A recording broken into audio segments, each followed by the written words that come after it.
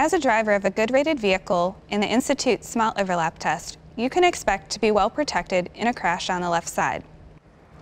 But what if the crash is on the right side and there's a right front passenger?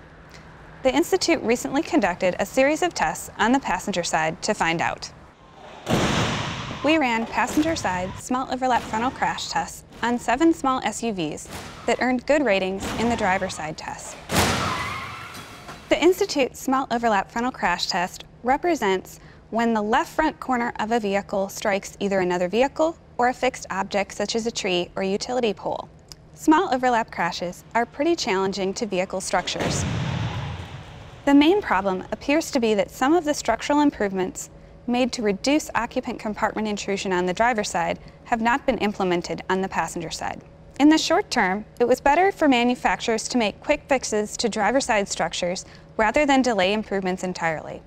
In the long term, manufacturers need to make the same improvements to the passenger sides also.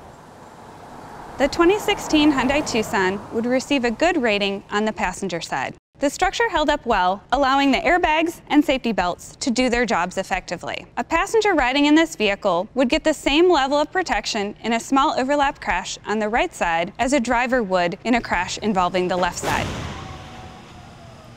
The 2015 Toyota RAV4 was the worst performing vehicle for passenger side protection. There was major collapse of the occupant compartment and the structures moved an additional 13 inches rearward compared with the driver side test. If we issued ratings for passenger side protection for the RAV4, it would get a poor.